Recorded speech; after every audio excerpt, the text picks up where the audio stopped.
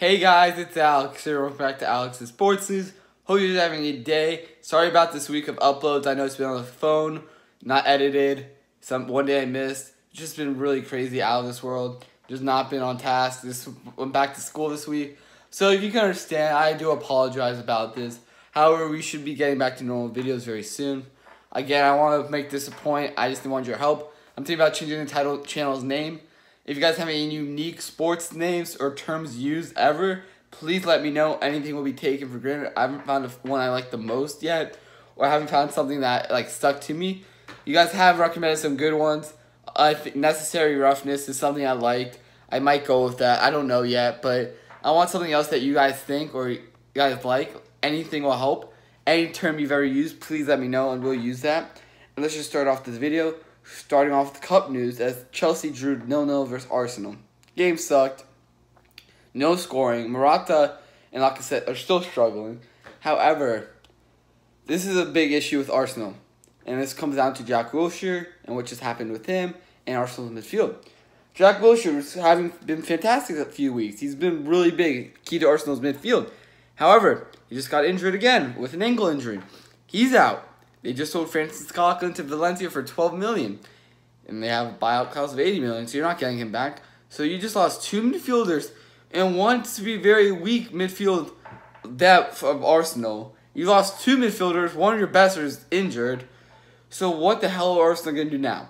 Now you have Aaron Ramsey, Granit Xhaka, Mesut Ozil top. Who else? I'm probably forgetting someone. I understand. But this is actually a serious issue going on with Arsenal because they need to make some signings. And after Wenger's been some heavy shit like fuck, you saw it Arsenal fan TV. Everyone's going off on Arsenal, especially Wenger. They need to make some moves now. So let me know what you guys think about that. What Arsenal are in some deep shit. They need to find their way out, but this could be looking really bad for another bad season for Arsenal. And let's just move on to NBA news, starting off with the Warriors losing to the Clippers Thanks to Lou Williams giving up giving 50 points against the Clippers or fuck the Warriors. I don't know what the wrong English today. You know what's funny about this? Coach Kerr before the game said Lou Williams will drop 50 points against the Warriors. He fucking called it. And also, you know what? Steph Curry got injured because he fell before. Klay Thompson got it wasn't playing. But then we're gonna talk about the other big character with KD, as he became the second youngest player in the NBA history to make it to the or to get to 20,000 points. He is just only behind LeBron James and the youngest player.